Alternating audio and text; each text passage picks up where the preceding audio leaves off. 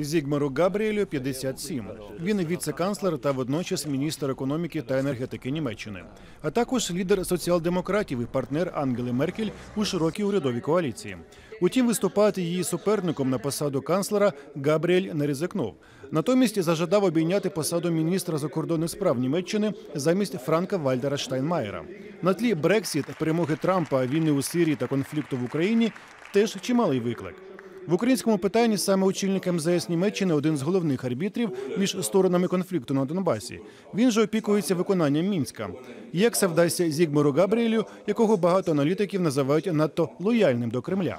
У травні минулого року він навіть спричинив непорозуміння між Києвом і Берліном, заявивши про необхідність покрокового скасування санкцій ЄС проти Росії, незважаючи на те, що його партія підтримала їхнє впровадження.